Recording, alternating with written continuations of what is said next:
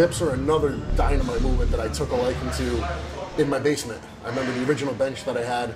You could take the the posts out, move them inward, and they had handles, and you could uh, do dips off the back of the bench.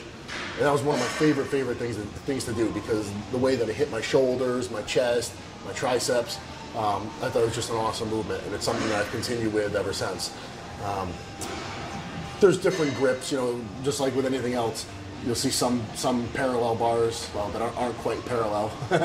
you know, they'll be on an angle. You'll see others that are in fact parallel. Some more narrow, some wider. And it's like with anything else. You can try them all, see which see what you like best, um, and you can even change them up from time to time, you know, for a different variation. Um, but they're they're all effective, and uh, it's a movement that I definitely recommend. You know, on, on this movement, similar to skull crushers, you'll notice that the elbows are definitely flared out a little bit. Um, for me, that's just what feels natural. Um, feel free, you know, as, as you build strength and endurance with this exercise. If you want to add weight, you know, they make they make chains. You know, it's a belt with a chain that comes off it, where you could uh, hook a plate on it, so to add add more resistance. Um,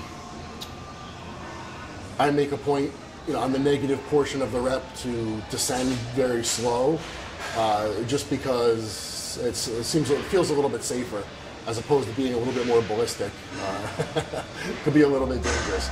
So I would recommend, as with anything, a controlled a controlled movement. You want to go slow on the negative and then explode, um, you know, explode upward.